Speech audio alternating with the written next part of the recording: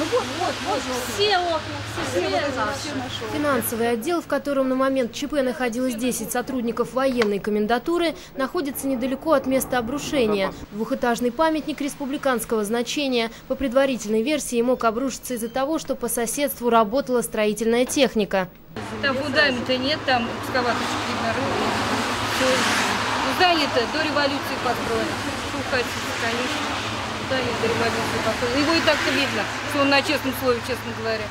На место ЧП стянулись все экстренные службы. Площадь обрушения составила 15 метров. Рухнула часть кирпичной кладки. Пострадавших в результате данного происшествия нет.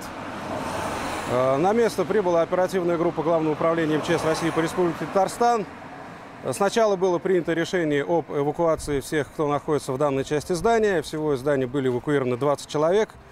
Э, Но потом э, было принято решение о том, что угроза зданию отсутствует, и люди вернулись на свои рабочие места.